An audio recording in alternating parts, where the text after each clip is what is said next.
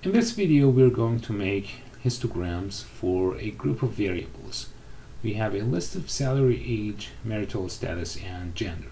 Making histograms for salary and age is di different than marital status and gender because of different data types. Salary and age are numerical and marital status and gender are categorical. These are different in Excel. So we start with salary. We can select the entire column, salary, insert from the group of charts in Excel 2016 we have histogram. And this histogram is automatically divided into a number of groups. We have options to change these groups and the format of the histogram. By double-clicking the area in the chart, we open Format Chart Area. Well, this formatting tool is sensitive to the area of the chart we select. The horizontal axis area and the tools will be different and will work on horizontal axis. If I click on Axis options and expand them, we can see that uh, bins, which is the groups of numbers, are divided automatically with the width of 11,000 and the number of bins is 7 we have options to change these numbers for example make it 10,000 and the number of groups will be adjusted. We can also change the number of bins from 8 to 10 or any other number. Back to 7 we can change the value of overflow bin and underflow bin to extremes or format tick marks and numbers but we don't have a full control on the bins except that we can exclude part of the data from the histogram. There's a different way of creating histogram in Excel. Using Data Analysis Toolpack under Data tab, we need to install this add-in first. Before creating the histogram, we need to know what's the range of the data so that we can divide the entire area between a number of bins that would decide how many we will need. The first step, we want to know what's the maximum and minimum of the data. So we use max function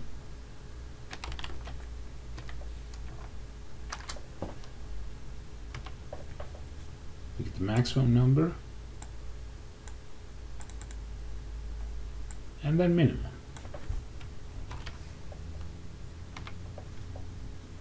So the data is between these two extreme values. So if we decide to divide the entire area into nine bins, so we start the bin from zero. We create one bin for any number less than the first value we have, around 20,000. Then we can start from 20,000 with increments of 10,000.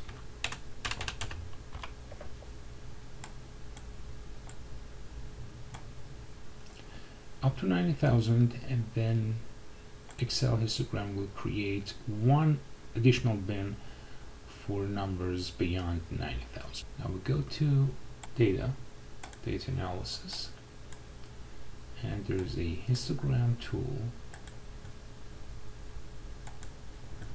We can get the input range, salary, including the header. We can select the bin range. Make sure labels is checked because we selected the header here. And then output range any point we want and we need the chart output.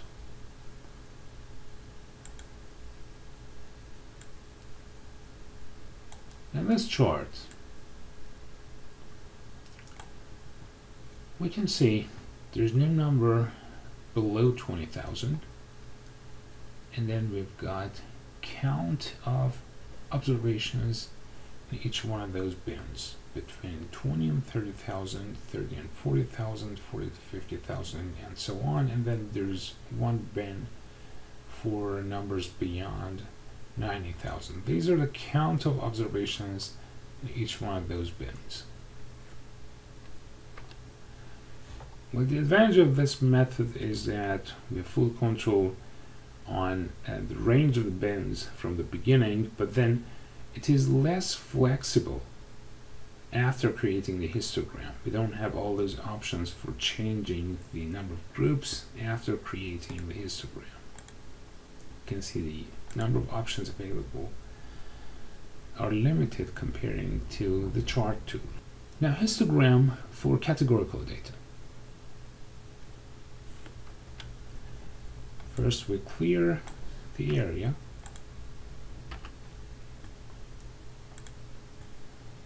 And try two different tools we use for numerical data.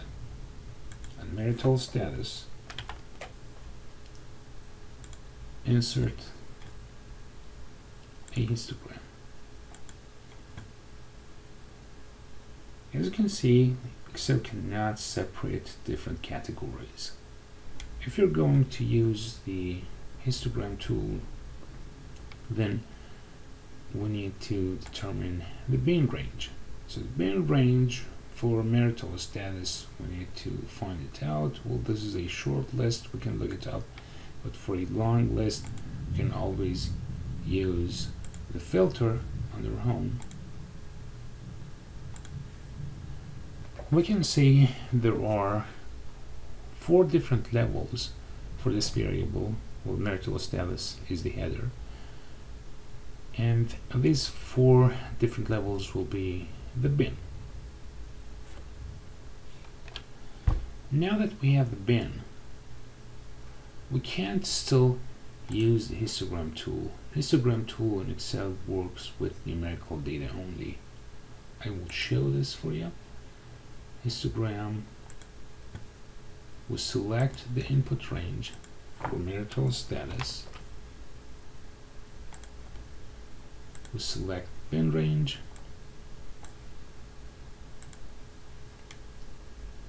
We need chart output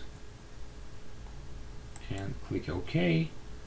Well, we got a message. Input range contains non-numeric data. So we need a different approach for this.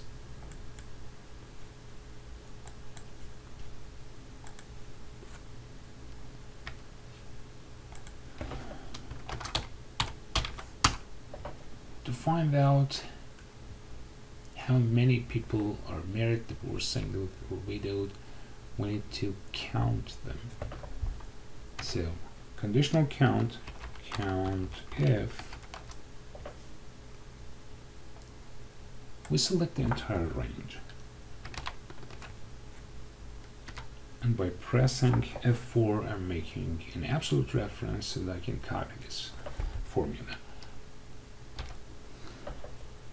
So the first argument range, second argument criteria. The criteria, I can simply reference the other cell. And that's a relative reference.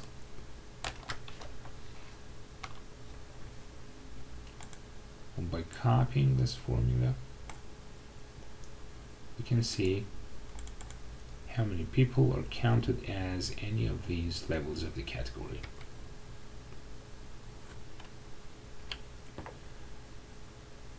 After having the count, we can select the entire range, including the headers, and then insert a column chart.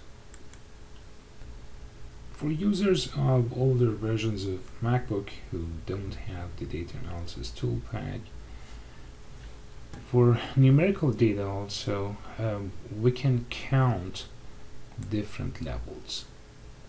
Something similar to what we did here, but then we need to do that in two steps. I'm clearing this area to show this.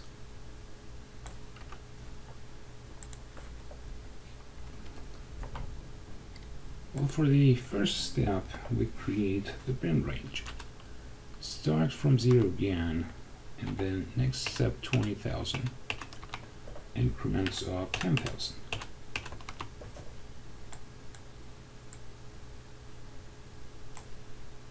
Up to 90,000, and then we use a conditional count, but this conditional count will give us a cumulative count.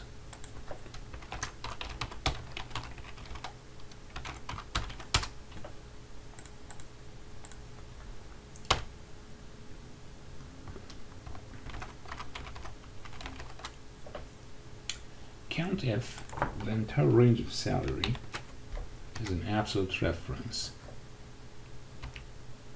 As criteria, count the number of observations that are greater than or equal to this number.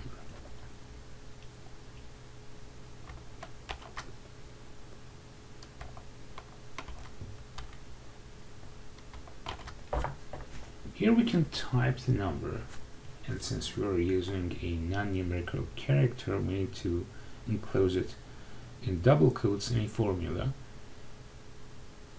Rather than um, typing a number individually we can use concatenation character in Excel and reference the cell. A relative reference. So we can copy this down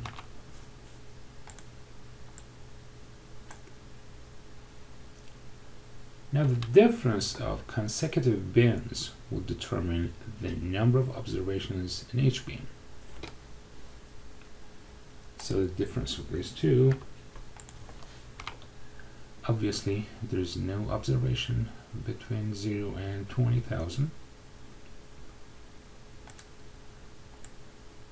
Copying this formula, we can calculate the number of observations in each group. For example, here you can see the difference of these two numbers or the observations in the range of 40,000. And this will be the count.